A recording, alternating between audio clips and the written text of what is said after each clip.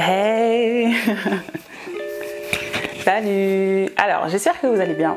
Moi, c'est Joanne. On se retrouve dans une nouvelle vidéo et dans un nouveau décor pour vous parler de comment avoir son livre en librairie. Donc, let's go alors, il est vrai que moi j'ai sorti un livre en 2021 qui s'appelle euh, Thérapie du sentiment amoureux. C'est un recueil de poèmes. Je suis allée en librairie et j'ai pu avoir une librairie qui a exposé mon livre en fait dans leur librairie. Voilà. Donc je vais vous donner des conseils pour exposer votre livre, euh, tous les petits tips en fait que moi j'ai pas pu avoir, que je ne savais pas et ce que j'aurais voulu savoir en fait bah, pour exposer son livre en librairie. Premièrement, moi j'aimerais juste revenir sur les petites conditions avant d'aller chez un libraire et lui dire écoute est-ce que tu peux exposer mon livre ok? Donc première condition avoir son numéro d'ISBN en France, c'est pas obligatoire d'avoir son numéro d'ISBN pour sortir un livre.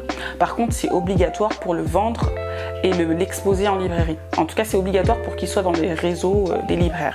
Je vais vous mettre dans la barre d'infos tous les liens pour euh, aller prendre son numéro d'ISBN. C'est pas très cher. Euh, et c'est assez rapide. Vous pouvez l'avoir en 2-3 semaines. Deuxièmement, il faut absolument que vous ayez un numéro de sirette. Pourquoi? En France, comme vous le savez, quand tu fais de l'argent, tu dois payer tes infos. Et en fait, tu dois déclarer ton activité. Donc moi, le statut que j'ai, c'est un statut d'artiste-auteur. Que les photographes peuvent avoir, que les artistes peuvent, avoir. Être carré avec... Euh, le fisc français, avec les impôts en tout cas. Troisièmement, vous devez être en fait dans la banque de référencement des livres en France.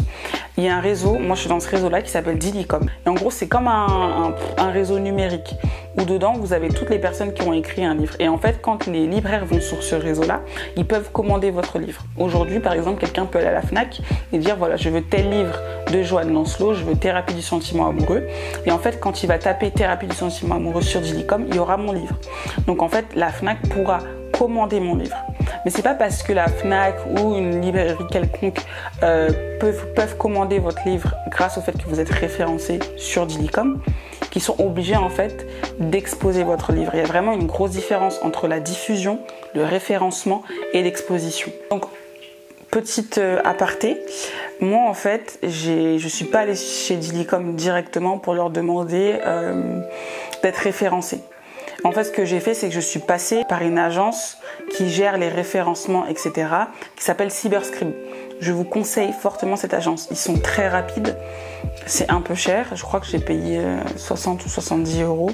Mais en fait, ils font tout. C'est-à-dire que au lieu de passer par Dilicom, de leur envoyer des mails où ils vont vous répondre un mois ou deux mois après, parce que tous les jours ils ont des nouveaux auteurs qui veulent être référencés, vous allez passer par l'agence directement qui s'appelle Cyberscream, qui va contacter Dilicom, vu qu'en plus ils se connaissent très très bien, euh, qui va contacter Dilicom et dire voilà, on a un nouvel auteur qui est passé par nous et qui a besoin de ces services-là, est-ce que vous pouvez le référencer pour nous? Donc moi, grâce à Cyberscribe, en fait, quand je vais sur mon site, je vais vous le montrer là, quand je vais sur mon site, en fait, j'ai accès à toutes les informations de mon livre. Je peux changer les informations, changer le prix de mon livre. Comme ça, dès que les informations sont changées, Cyberscribe envoie ça à Dilicom et sur la plateforme Dilicom, quand les libraires voient mon livre, il y a tous les changements. Imaginons que vous avez besoin de changer la page de couverture de votre livre, etc. En fait, Cyberscribe permet d'envoyer directement les informations et euh, que les changements soient faits rapidement. Voilà, donc je vous conseille vraiment Cyberscribe. Euh, moi, en tout cas, ils ont été très rapides, très réactifs par mail. Ça, c'était super important pour moi d'avoir des gens super réactifs. Et, euh, voilà, comment démarcher son livre. Alors, le démarchage, c'est un peu comme du pitch. Il faut absolument que vous sachiez pitcher votre livre. Pourquoi votre livre il est important? Pourquoi il est différent? Pourquoi euh, il doit être présent dans, les librairies? Il faut absolument savoir pitcher. N'allez pas pitcher, euh, n'allez pas pitcher sans avoir réfléchi à ce que vous allez pitcher. Je sais pas si c'est très français, mais euh, ce que je veux dire, c'est vraiment faites vous-même une liste ou une feuille sur tous les points pour lesquels votre livre est important. Faites l'histoire, vraiment faites une, organisez-vous et faites une feuille sur laquelle vous pourrez répondre aux questions en fait des libraires. Ça c'est super important. le conseil que j'aurais voulu avoir et que je vous donne, euh, c'est que pour bien démarcher, il faut bien aller étudier la librairie euh, où vous voulez être exposé. Parce que toutes les librairies ont des spécialités. Il y a certaines librairies qui sont spécialisées en polar. Euh, certaines librairies qui sont spécialisées en science-fiction. Il y a des librairies qui vendent seulement des livres d'occasion. Ça veut dire n'allez pas dans une librairie où les livres sont tous à 2 euros, c'est que de l'occasion. Il y a d'autres librairies qui sont plus spécialisées en images, en illustration, euh, illustration graphique, etc. Donc vraiment, renseignez-vous sur euh, la librairie euh, où vous voulez être exposé avant d'y aller. Moi, j'ai fait l'erreur d'aller dans toutes les librairies dans lesquelles je pouvais aller. J'ai fait une trentaine, voire plus de librairies à Paris. Euh, j'ai perdu mon temps dans certaines librairies parce qu'elles étaient spécialisées en photographie ou en polar. Et moi, personnellement, c'est un recueil de poèmes. Qu'est-ce qu'un recueil de poèmes? À part s'il y a des photos, etc., va faire dans une librairie spécialisée pour photos. Donc vraiment identifier enfin, le genre de votre livre et aller chercher les librairies qui sont spécialisées dans votre genre. Par rapport au démarchage, ce que je vous conseillerais aussi, c'est d'envoyer des mails. Prenez une liste de librairies à Paris et vous envoyez des mails avec vidéos, photos, pitch, feuilles d'explication, ce que vous voulez de votre livre et envoyez un mail clair euh, sur comment vous appréciez la librairie, comment la, la librairie vous touche, parce qu'il y a des librairies vraiment qui sont pas mal comment la librairie vous touche. Je ne sais pas si c'est librairie, la librairie de votre enfance par exemple. Euh, vraiment envoyer un mail bien clair, bien précis. Parce que moi par exemple j'ai eu six réponses euh, positives euh, par mail de librairie. Bon certaines qui m'ont aussi dit oui puis après m'ont dit non. Mais ce que je veux dire c'est que certaines librairies répondent aux mails. Envoyer des mails c'est super important. L'autre conseil que j'aimerais vous donner et qui est super super important s'il vous plaît et que j'aurais voulu savoir, allez ailleurs qu'à Paris. En fait, le souci avec Paris, c'est qu'il y a énormément de nouveaux auteurs. Donc tous les jours, tu les libraires qui ont des packs de sacs de dépôt-vente en fait. Parce que tu as des auteurs tout le temps qui viennent. Est-ce que vous pouvez prendre mon livre? Est-ce que ça vous intéresserait du dépôt-vente? Ce qui fait qu'en fait, que les librairies à Paris, elles sont remplies de livres. Et des fois, il n'y a même plus de place. Euh, sur les 30 librairies que j'ai fait, on m'a tout refusé. Tout le monde m'a refusé. On m'a même pas écouté, etc. Tout le monde m'a refusé. Pourquoi? Il y a certaines librairies qui m'ont expliqué pourquoi, d'autres qui m'ont pas expliqué pourquoi. Mais de ce que j'ai compris, c'est qu'il y a trop de nouveaux auteurs en fait à Paris. Il y a trop de nouveaux auteurs et même les auteurs qui sont déjà connus, etc. Euh, S'ils font pas de vente, les livres ils restent là jusqu'à ça dure. Donc en fait, je vous conseille vraiment d'aller ailleurs qu'à Paris. Aller à Lyon, aller à Bordeaux, aller dans les autres grandes villes, aller même dans les villages, aller dans la banlieue parisienne aussi, dans votre ville privilégiée les petites villes privilégiées, les petites banlieues privilégiées, euh, tout sauf Paris. Après, je vous conseille quand même de tenter Paris parce que ça peut être une super bonne expérience et parce que vous pouvez aussi avoir des bons retours. Maintenant, de ce que moi j'ai vécu, Paris c'était. Euh, voilà, c'était compliqué. Au niveau de l'ego, c'était compliqué. Euh, moi, j'y suis allée, je pensais qu'il allait au moins avoir une ou deux librairies. Zéro librairie sur une trentaine que j'ai fait.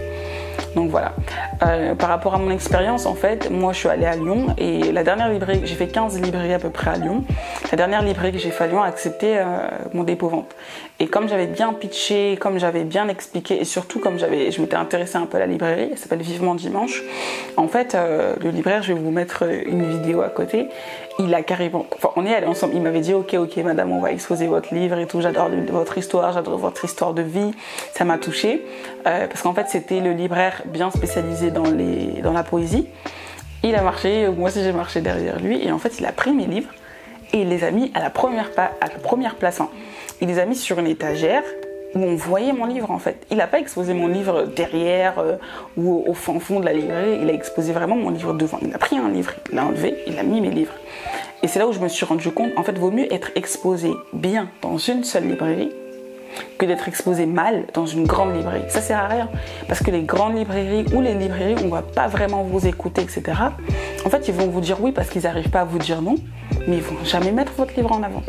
Et en fait, ce que j'avais vraiment aimé dans cette librairie, c'est que sur chaque petit livre qui a été exposé, il y avait l'avis de lecteur ou avis du libraire. On peut voir que cette librairie, elle met vraiment, vraiment, vraiment euh, de l'importance à l'auteur, euh, au lecteur, euh, et, voilà, ça c'est quelque chose qui m'a vraiment touchée. Malheureusement, il y a beaucoup de candidats, beaucoup de personnes qui veulent exposer leurs livres et peu qui sont pris. Mais je vous conseille vraiment, vraiment, vraiment, vraiment de tenir bon, de persévérer. Faut savoir que moi, la dernière librairie où j'ai été prise, j'en avais fait 15, où ils m'avaient tous refusé, j'étais saoulée. Je devais faire la dernière à 15h. Et je m'étais dit, je me suis levée à 9h. J'ai fait toutes les librairies à pied parce que bon, Lyon, euh, ok, c'est petit, mais vas-y, à pied, c'est quand même voilà. Euh, personne m'a pris en fait. J'ai la flemme d'y aller pour être encore refusée. Au final, je me suis motivée et la personne a dit oui. Donc j'étais contente. Donc vraiment, ne vous découragez absolument pas. C'est pas facile. Il y a beaucoup de personnes qui veulent exposer leurs livres en librairie.